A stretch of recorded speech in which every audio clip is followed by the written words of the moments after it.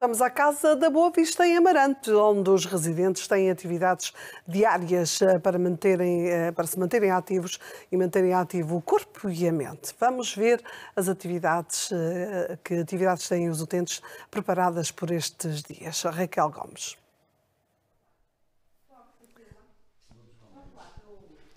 Numa altura em que falar de envelhecimento é cada vez mais atual, o envelhecimento da população é uma realidade a que não se pode fugir, portanto é, é importante criar soluções que permitam um envelhecimento de qualidade. E é isso que se tenta fazer aqui na Casa da Boa Vista, em Amarante, e que já vimos na primeira parte. Agora estamos numa altura em que os utentes estão a fazer pinturas, mas também a preparar instrumentos uh, musicais, não é assim, Diogo? Exatamente. Os idosos estão aqui no, eh, no projeto Anima Natura, que é um projeto que nós temos em parceria com uh, a Casa, o Centro Cultural Amélia Laranjeira, aqui da Marante.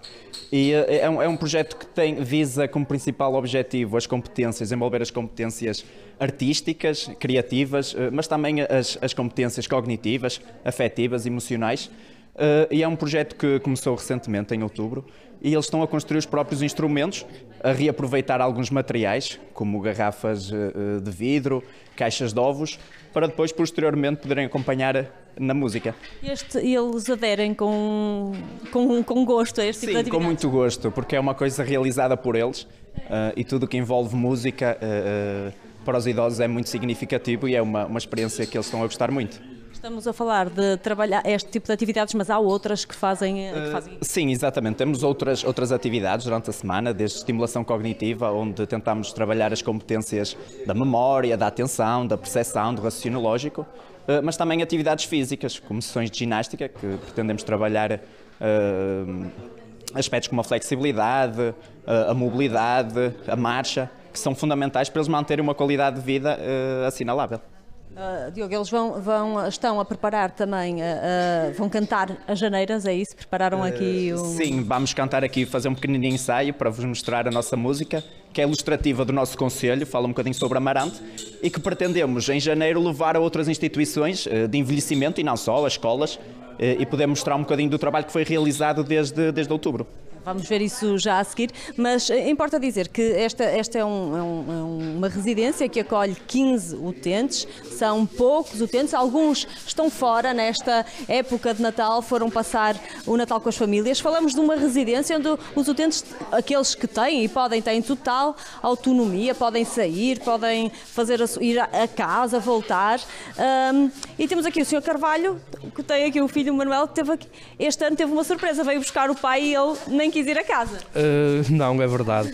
Eu vim passar aqui a véspera de Natal com o meu pai e com a minha família para, hum, para obter essa oportunidade uh, e, e, foi muito bom, foi muito bom porque ele não conseguia ir a casa e, e sente-se aqui muito bem e então nós viemos cá, viemos é um bom, cá é um nós bom, ao lar. É um bom sinal. E é, um, é, um, é um sinal muito, muito bom, muito, foi a, a doutora uh, Beatriz Lima Uh, ajudou-nos muito nesse sentido e nós só temos muito a agradecer uh, essa disponibilidade daqui do lado, porque nós temos vindo cá uh, passar o Natal com o meu pai.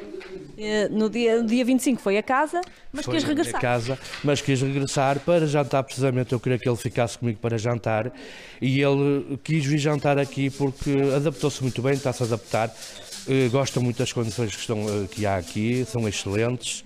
Um, e está a se sentir muito bem, está-se a adaptar muito bem e está, está a gostar muito de estar aqui. É um descanso também para as famílias saber. Uh, é, porque ele vivia comigo, um, deixou de haver condições de ele estar em minha casa uh, e veio para aqui. Eu tive a sorte de encontrar um lar como este para, para o acolher, porque aqui é, é muito bom, é excelente. Não há, hum, tem uma coisa, uma mais-valia que não há, não há horários para uma pessoa poder visitar, uma pessoa trabalha eu trabalho, a minha esposa trabalha, então nós podemos ir aqui a qualquer hora visitar o meu pai sem limitações, que isso é excelente para, para quem. Hoje em dia é mesmo assim, não é? Não há claro. Grande possibilidade. E não, não haver um horário rígido é muito bom, não é?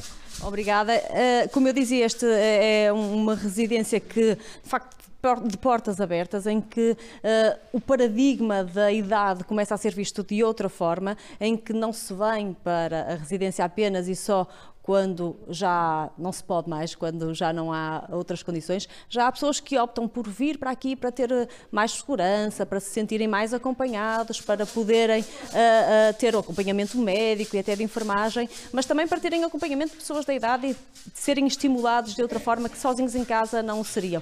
Estes idosos aqui vão mostrar-nos o que têm estado a trabalhar, vão cantar as janeiras, porque desejamos que o novo ano seja um bom ano para todos.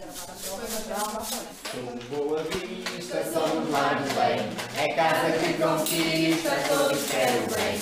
Somos Boa Vista, somos lá do bem, é casa que conquista, todos querem bem. Amarante, terra amiga, como tu não há igual, és a terra mais bonita do norte de Portugal. Somos Boa Vista, que conquista, todos querem o bem. Somos boa vista, somos lar bem. É casa que conquista, todos querem o bem.